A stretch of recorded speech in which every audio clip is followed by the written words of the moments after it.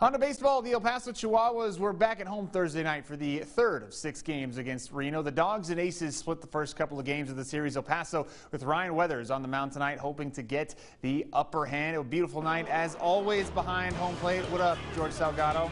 Love that dude. El Paso was down five to three in the fifth, but they come alive in the bottom of the fifth inning. Taylor Kohlwey, the single to score CJ Hinojosa, who's tied at five after five to the sixth. Here is Hinojosa at the dish this time. Sculls it to right. Matthew Batten will slide in safely ahead of the tag to put the dogs in front. The Chihuahuas get the win 7 to 6. They're back at it on Friday with a 6:35 p.m. first pitch. Meanwhile,